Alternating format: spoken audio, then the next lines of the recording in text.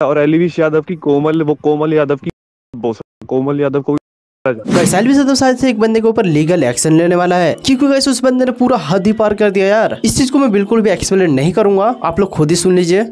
माँ का जितना भी तुम्हारी लड़कियाँ तुम्हारे खानदान में तेरी फूफी चाची ताई सबकी सबकी जाएगी यहाँ पे ठीक है? और एलिविश यादव की कोमल वो कोमल यादव की कोमल यादव को नहीं यार कोमल यादव की छोटी बेटी जो है ना गुद्दी में खेलती है उसकी मैं उसकी चिता जा दूँगा मैं।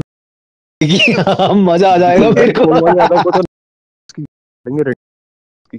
भाई यादवों की माँ दूँगा मैं यादवों की